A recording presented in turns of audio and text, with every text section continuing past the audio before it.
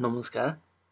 आज म यो भिडियोमा ब्याङ्क तथा वित्तीय संस्थाहरूमा जता पनि बचतमा वा मुद्दतीमा कति कसरी ब्याज गणना गर्छन् गणना हुन्छ भन्ने विषयमा जानकारी दिँदैछु ब्याङ्कका खाताहरूमा चल्ती खातामा ब्याज नै आउँदैन।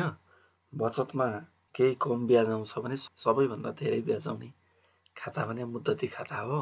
र यो मुद्दती खातामा ब्याङ्क तथा वित्तीय संस्थाहरूले ब्याज कसरी गणना गर्छन् भन्ने विषयमा मैले एउटा डिटेल भिडियो पनि बनाएको छु। माथि आइ आइकनमा आउँछ यो पनि यहाँहरूले हेर्नु भएको छैन भने हेर्न सक्नुहुनेछ। र आज एउटा चार्टर एकाउन्टेन्ट साथीले फेसबुकमा राखेका स्टाटस हेरेपछि हुन त यो सेयर गर्न हुने हो कि होइन? तपाईँहरूलाई अब भ्रम पैदा हुन सक्ला। तैपनि मैले सेयर गर्ने जमर्को गरेँ। जुन त आम पब्लिकले ब्याङ्क तथा वित्तीय संस्थालाई धेरै नै विश्वास गर्छन् गर्न नै पर्छ। यो स्ट्याटस पढ्न सक्नुहुन्छ। आजभोलि ब्याङ्कले ग्राहकसँग मुद्दती खाताको निक्षेपमा तेह्र पर्सेन्ट ब्याज दिने सम्झौता गरेर ग्राहकलाई थाहै नदिई एघार पर्सेन्ट मात्रै ब्याज खातामा पठाइदिएका रहेछन् भन्ने खालको स्ट्याटस राखेका रहेछन् साथीले। त्यस कारणले म के पनि भन्छु भने यहाँहरूलाई एटलिस्ट आफ्नो खाताको ब्याज चाहिँ आफैले पनि चेक गर्ने गर्नुहोस्। हुन त मैले अगाडि नै भनिहालेँ ब्याङ्किङ सिस्टमसँग हामीले विश्वास गर्नुपर्छ। कुनै एउटा दुइटा ब्याङ्कले यसरी बदमासी गरे होला। तपाईँहरूले चाहिँ आफैले स्टेटमेन्ट एकचोटि चेक गर्नु हो भने वित्तीय ज्ञान नभएका शिक्षित वर्ग पनि यस कुरामा अनभिज्ञ छन् भनेको छ। हो भने मेरो यो भिडियो बनाउनुको उद्देश्य चाहिँ यहाँहरूले यो भिडियो हेरिसकेपछि आफ्नो बचतमा मुद्दतीमा ब्याङ्कले पठाएको ब्याज ठिक छ कि छैन भनेर हेर्न सक्ने हुनुहुनेछ म ब्याज गणना गर्नै सिकाउँछु सर्वप्रथम क्यालकुलेटरबाट। मानौँ दस लाख मुद्दती निक्षेपमा राखेको छ भने दस लाखको भनेपछि मल्टिप्लाई दस लाखको अहिलेको चलन चल्तीको ब्याज दर भने बाह्र पोइन्ट एक तिन प्रतिशत मुद्दतीमा सबै ब्याङ्कले ब्याज दिन्छन्। दस लाख मल्टिप्लाई बाह्र पोइन्ट तेह्र पर्सेन्ट इक्वल टु एक लाख एक्काइस हजार तिन सय। यो एक वर्षको ब्याज हो। यसलाई डिभाइडेड बाई तिन सय पैँसठी गरेपछि एक दिनको ब्याज आउँछ। यो तिन सय बत्तिस रुपियाँ तिन तिन पैसा राउन्ड फिगरमा। यो चाहिँ एक दिनको ब्याज हो। यो एक दिनको निकालिसकेपछि महिनामा एकतिसको छ भने त्यो महिना मल्टिप्लाई बाई थर्टी वान गर्ने। एक महिनाको ब्याज आउँछ। तिन महिनाको चाहियो भने मल्टिप्लाई तिन गर्ने। तिन महिनाको आयो।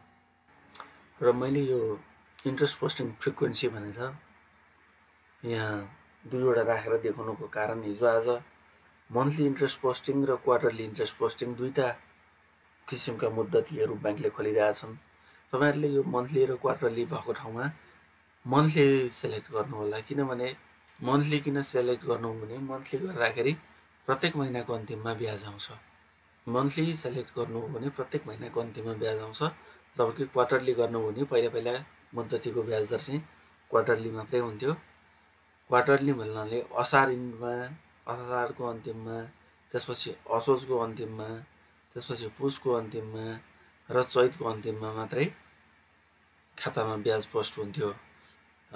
टाइम भ्यालु अफ मनी भन्छन्। टाइम भ्यालु अफ मनीले चाहिँ के भन्छ भने आजको एक रुपियाँ भोलिको एक रुपियाँभन्दा ठुलो हो। त्यसैले गर्दा तिन महिनापछि पाउने ब्याजभन्दा आज पाउने ब्याज ठुलो हुन्छ। किनभने जुन त्यो ब्याज नोमिनी एकाउन्टमा अथवा बचत खातामा ट्रान्सफर हुन्छ त्यो ट्रान्सफर भएको दिनदेखि त त्यो ब्याजले पनि ब्याज कमाउन थाल्छ नि। त्यसले गर्दा मन्थली इन्ट्रेस्ट दिने मुद्दती खोल्नु होला छ भनेदेखि त्यो ब्याङ्कमा। मन्थली गर्नु हो भने महिनै पछि ब्याज आउँछ। म मन्थलीको एउटा उदाहरण देखाउँछु। जस्तै वैशाखमा यहाँहरूले वैशाख दस गते मुद्दती खोल्नु भएछ भनेदेखि दस लाख सामा राखेर वैशाख दसमा मुद्दती खोल्नु भएको छ मानिलिउँ। इन्ट्रेस्ट रेट बाह्र पोइन्ट वान तिन पर्सेन्ट छ। भने अब यो दस गते खोल्या हो भनेदेखि यसको चाहिँ बिस दिनको मात्रै ब्याज आउने भयो। किनभने यो महिनाको त अन्तिममै ब्याज हालिदिन्छ खातामा। अब इयरली इन्ट्रेस्ट हेर्ने हो भने दस लाखको बाह्र पोइन्ट तेह्र पर्सेन्ट इक्वल टु एक लाख एक्काइस हजार तिन सय आयो। अब इन्ट्रेस्ट पर डे भनेर यसलाई तिन सय पैँसठीले भाग गरेपछि प्रतिदिनको इन्ट्रेस्ट आयो एक दिनको ब्याज। अब इन्ट्रेस्ट पर द पिरियड अहिले मैले एजुम गरे यो चाहिँ ट्वेन्टी डेजको हो। दस गते मात्रै उसले खाता खोल्या हो भनेदेखि वैशाख यदि तिसको महिना रहेछ भने बिस दिनको ब्याज आउँछ। छ हजार छ सय सडचालिस ब्याज आउने भयो। यसमा पाँच प्रतिशत कर लाग्छ। यो चाहिँ गभर्मेन्टले कर काट्छ। यो छ हजार छ सय सडचालिस रुपियाँ यहाँहरूको खातामै पोस्ट हुन्छ। इन्ट्रेस्ट भनेर र ट्याक्स भनेर तिन सय बत्तिस रुपियाँ। यो चाहिँ इन्ट्रेस्ट एमाउन्टको पाँच पर्सेन्ट यसरी ट्याक्स काट्छ र बाँकी चाहिँ यो interest for the period minus tax amount गरेर छ हजार तिन सय चौध खातामा बाँकी रहन्छ। अब मन्थली नै हिसाब गरेर जाने हो भने यसरी प्रत्येक महिना हिसाब भएर बस्छ। र ब्याज चाहिँ प्रत्येक महिना बचत खातामा पोस्ट भएर जान्छ। अब मानौँ जेठमा के हुन्छ त? भन्दा जेठमा दस लाखैसम्म भयो यो इन्ट्रेस्ट रेट पनि त्यही हो तर यहाँ चाहिँ जेठमा त पुरा एक महिनाकै ब्याज आउँछ।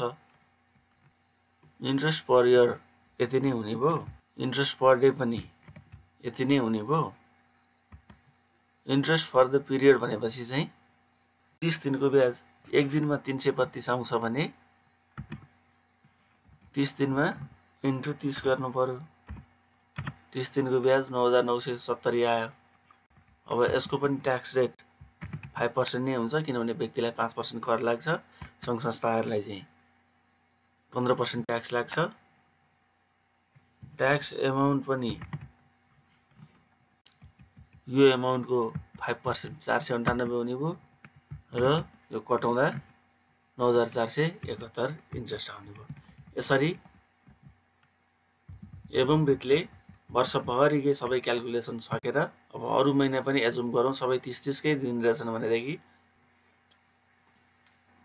यति चाहिँ ट्याक्स लाग्ने भयो र नेट उसले ब्याज यति आर्जन गर्ने भयो।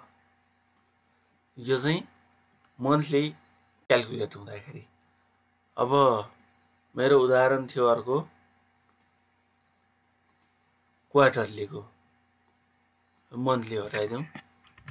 अब क्वार्टरली मात्रै इन्ट्रेस्ट लिने हो भने मानौँ उसले वैशाख दस गते खाता खोलेको थियो भनेदेखि के हुने भयो त वैशाखको बिस दिन जेठको तिस दिन र असारको तिस दिन असी दिनको ब्याज आउने भयो यसमा।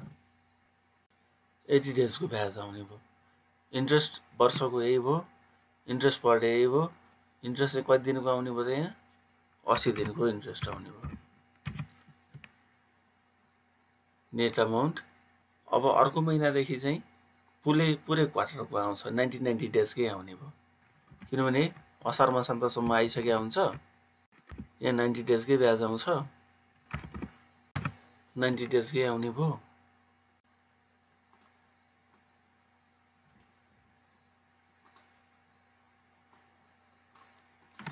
र यसमा थप चाहिँ वैशाखको दस दिनको फेरि आउनु पऱ्यो किनभने उसले वैशाख दसमा खाता खोलेको थियो।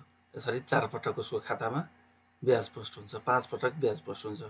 ब्याज हिसाब गर्ने कुरा मैले क्यालकुलेटरबाट सिकाइहालेँ र खातामा कसरी पोस्ट हुन्छ भन्ने कुरा पनि मैले यहाँहरूलाई